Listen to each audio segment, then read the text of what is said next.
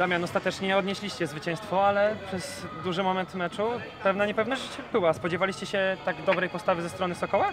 Tak szczerze. E, To znaczy, no wiadomo, Puchar Polski to rządzi się takimi prawami, że te zespoły z pierwszej, z Boże, z niższej ligi e, gdzieś starają się zawsze na ambicji, na takim zaangażowaniu e, wygrywać te mecze. I wiedzieliśmy, że na pewno ten początek będzie trudny, no bo zawsze, zawsze te mecze gdzieś są, e, są trudne. Soku strzelił pierwszą bramkę, e, wydaje mi się, że z mega dużego spalonego.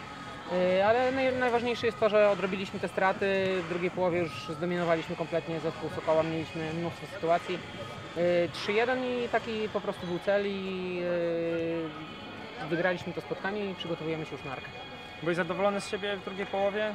E, Czułeś się chyba swobodnie, co nie? Trener postawił na ciebie i odpłaciłeś się. Y, To znaczy tak, no ja wiem czego wymaga ode mnie trener, tak, po co mnie tutaj ściągano. Y, Cieszę się, że, że już gdzieś tam się odblokowałem. Każdym meczu coraz lepiej już to gdzieś wyglądało, y, tak więc y, dzisiaj bramka, asysta. Y, Po to wszedłem na boisko, przy stanie 1-0 przegrywaliśmy, żeby, żeby po prostu pomóc chłopakom i to spotkanie wygrać, tak? I jestem zadowolony z swojej, swojej postawy, chociaż mówię, zawsze może być lepiej.